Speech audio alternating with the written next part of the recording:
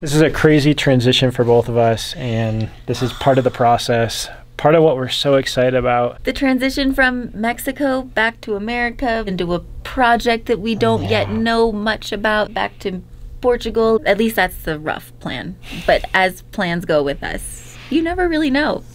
We're Brittany and Drew, two hopeful adventurers who got married, moved into a van, and have been chasing adventures all around the globe ever since, and are now searching for a place to call home somewhere soon. Subscribe and join the ride.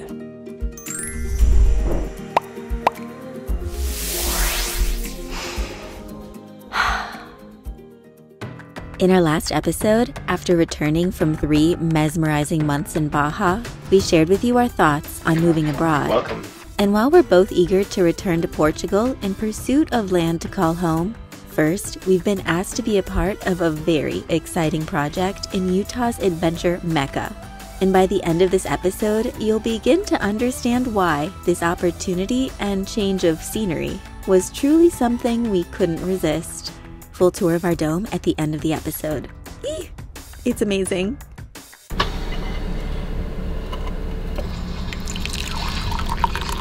Good morning. It's a very early start to the day. We woke up before 6 a.m., which it's been a while since we've done that, but for a very good reason. Yesterday we drove into Moab, and this morning we want to catch sunrise in Arches National Park. Not just anywhere, though, but at the most beautiful spot, at least in our opinion, in the entire park, and that's at Delicate Arch. Now, this trailhead has over 12,000 reviews. It's definitely the most popular spot in the park, but because we'll be getting there for sunrise, I think it'll just be pretty magical. Are you ready? Let's go. Yay! And back into the front seats we go, full of anticipation for yet another day of unknowns. For yet another day of adventure. We did have to reserve an entry time, so we are allowed to enter the park in between 6 and 7 a.m. And it is almost 6:30, so it looks like we're doing good. And there's no line. So early morning, that's the ticket. Can you tell them that I was the one who urged us to go so early? It's very true. Hi there, how you doing? Excellent. Scan that QR code first. Any bigger? That should work. You're all set to go? Thank you. You're Have a good welcome. day. You too. Arches, which is home to the highest concentration of natural stone arches in the world, was designated a national park in 1971 and spans over 119 square miles. Every year, over 1.5 million visitors come to see the 65 million year old sandstone arches, hoodoos, and canyons that were formed by the forces of water, wind, and drastic temperature change. The park only gets about 8 to 10 inches of rain each year, but it used to be entirely underwater and now is home to 754 species of plants and animals. That right there is balanced rock, and it weighs as much as 27 blue whales, standing 128 feet or three school buses tall. A little bit taller than me. Ah, and a 45 minute drive later, we had finally arrived. We are here. We got 1.5 miles to go, and the sun is rising. Look at that.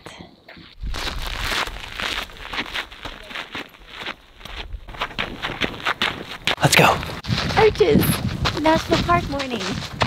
What a great way to start the day. It is a super way to start. This place is so unique. I love it. It's amazing. The colors, the swirling of the rocks. And there she was, standing in all her glory. Delicate Arch, which is also referred to as Cowboys Chaps and Old Maids Bloomers. Standing at over 60 feet tall, the light opening inside the arch is 46 feet high. It's illegal to climb, and luckily, the crazy idea, hatched in the 1950s to paint it in a plastic coating to better preserve it, was quickly abandoned. I'm really dizzy. Don't fall. Do you see that back there? That's actually the arch that appears on every single Utah license plate.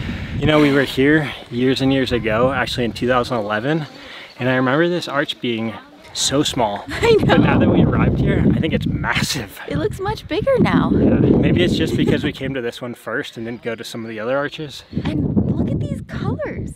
Literally literally looks like a rainbow on the ground. Are we in a candy shop right now? Because I sure feel like a kid again. Aw. Real quick, I want to thank the sponsor of today's episode, AG1. It is the nutritional drink that helps us set the foundation for our strong and healthy lifestyle. It's one scoop or one travel pack once a day every single day. Not only is it a space saver for us in our tiny home, it replaces multiple other products, which is why it's a premium priced product, but it is so worth it. We've been taking it for nearly two years now, and the improvement that I've seen in my digestion and in our energy, it just gives us peace of mind knowing that we're getting all of the best vitamins, nutrients, and whole food sourced ingredients, like seriously, the best quality. Athletic Greens is the one behind all of the research. So AG1 is where it's at, and by using our link below, you will get five free bonus travel packs along with a one year supply of the immune supporting vitamin D3 and K2. It's a great habit to start AG1. for life.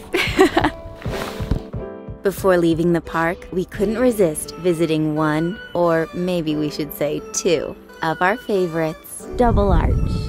Pretty amazing. Double the fun.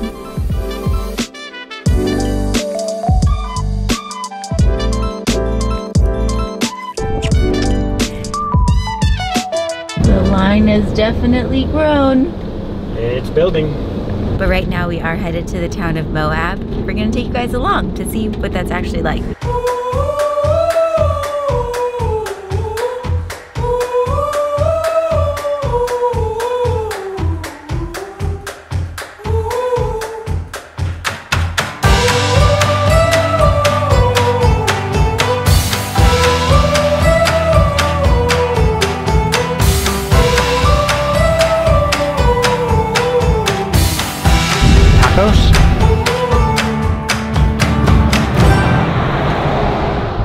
Have our own food truck.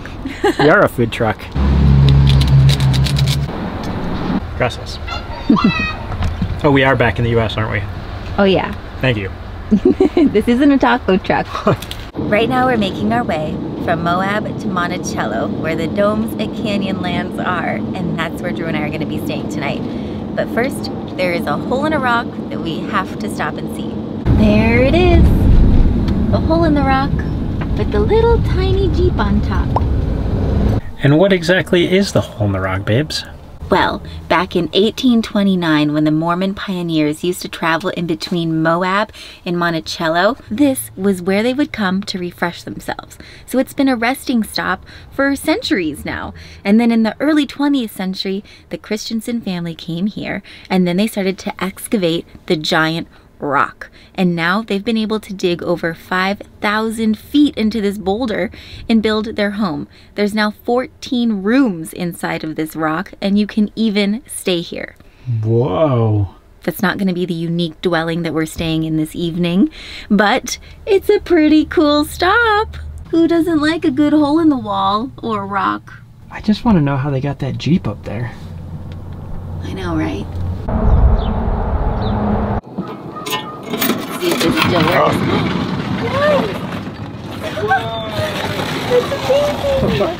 But it's not musical anymore.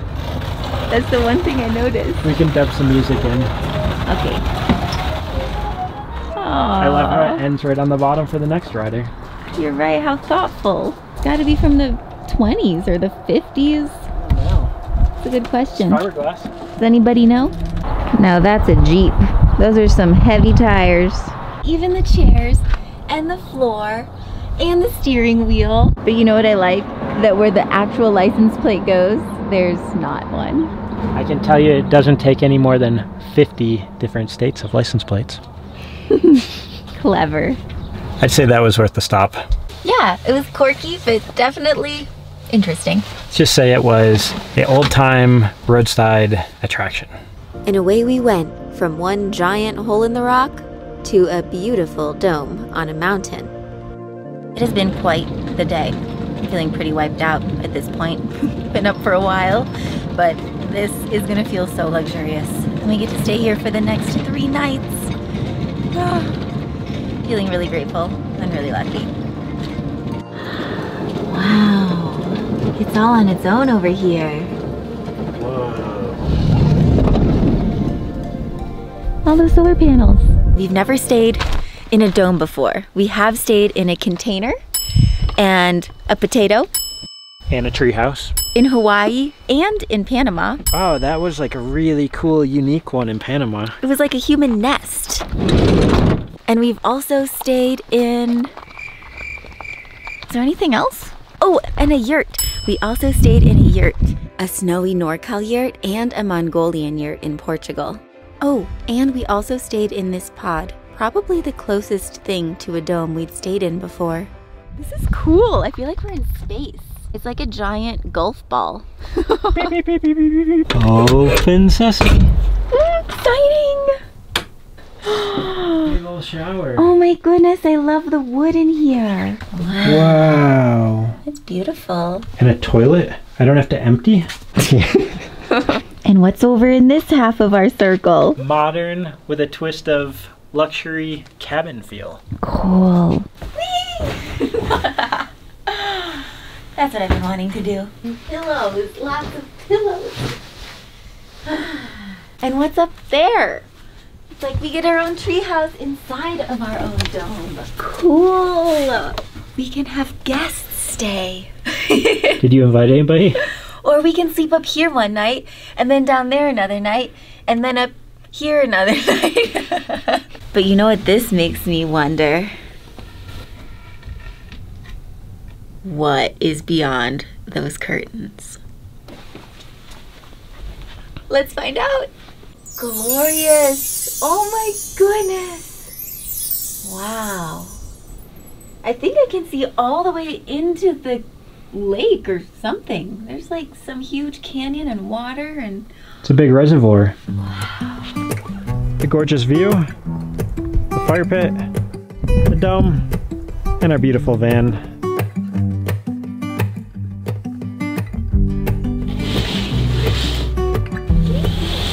I love that it's high elevation here at 7,500 feet, and this dome is known as the Pines, which, when you look out, there are pine trees everywhere, and the view is just stunning.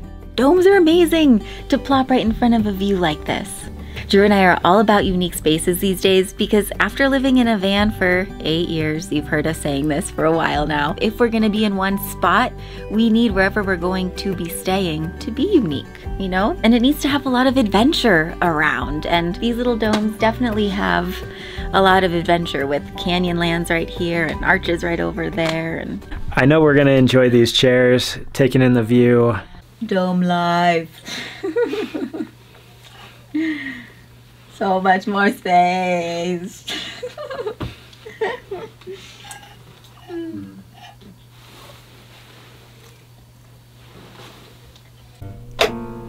It has a little coffee machine, which we're really, you know, we're all about our coffee these days. A little microwave, which I probably won't use ever, but it does have a little fridge. So we can bring some things from Spirit and stock up. Babe, you see this? Do you remember what this is? A full length mirror? What am I wearing? Your adventure clothes. Da-da! And this place is so much bigger, this dome is, than I would have ever imagined. It is. And what's also crazy is I don't know if I should say this, but they have Wi Fi. I know you guys might like the idea of us just lounging around for three days in our dome. That is what we're gonna do. It's also a wonderful place to work remotely. And Josh, our friend who we actually haven't met yet, who kind of is one of the masterminds behind this place, he is somebody who has another really exciting project in store for us.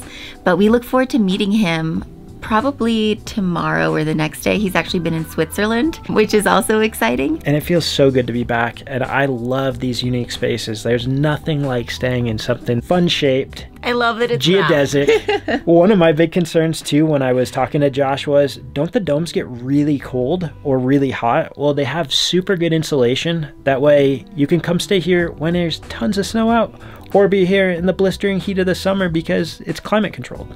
There's a little Mr. Heater right over there that I've already cranked up a little bit because it is surprisingly chilly this time of year here. At least this year. It's a kind of weird year for weather. Yeah, they said usually it's pretty warm by now, but there's been a freak cold front. There has been. So now all I really want to do is take a hot shower, make a big giant bowl of pasta. I just think- want a cold bevy and chill. I call shower dibs. We're at rock, paper, scissors for that. No, I, I just win. I called it first. Never have we recorded from both angles at the same time. Yeah, there is a GoPro. GoPro, Sony. Sony, me GoPro. Meet in the middle. At our banquet.